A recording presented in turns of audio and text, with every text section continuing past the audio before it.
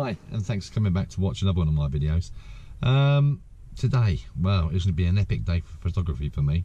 Sunday, hey, not many people about early in the morning. I was going to get the uh, dawn over at Brighton.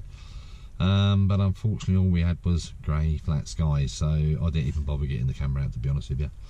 Got home, had a bit of breakfast, and um, uh, all of a sudden, the lights started to get better. So I thought, do you know what? Let's get the drone out and have a play, because I haven't had a play since ooh, about October last year. And what I've tried to do is combine that by doing um, a panoramic uh, shot with my RX10. Hopefully it's going to come out alright. If it has, it'll be in the video. Um, what else have we got planned later on today? Hopefully um, I shall be going over towards Devil's Dyke to catch the sunset. It's a cracking place for sunsets as you've got the downs to your left and a massive open expanse with the sun going down to your right. So if that comes out well, also that'll be in the video. Um, as always, thanks very much for coming to watch and um, uh, giving me your support.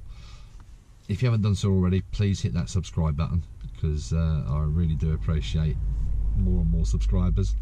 And um, hey, if you like the video, please bang the like button. Look forward to doing the next one and seeing you soon. Cheers now.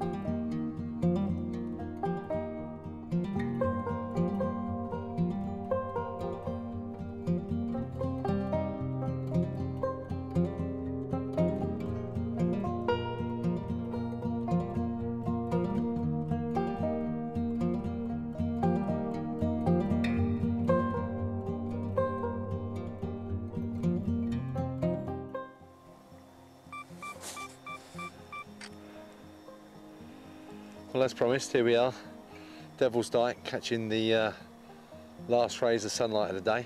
Hopefully it'll come out all right. Um, if it does, as always, it will come out on the video.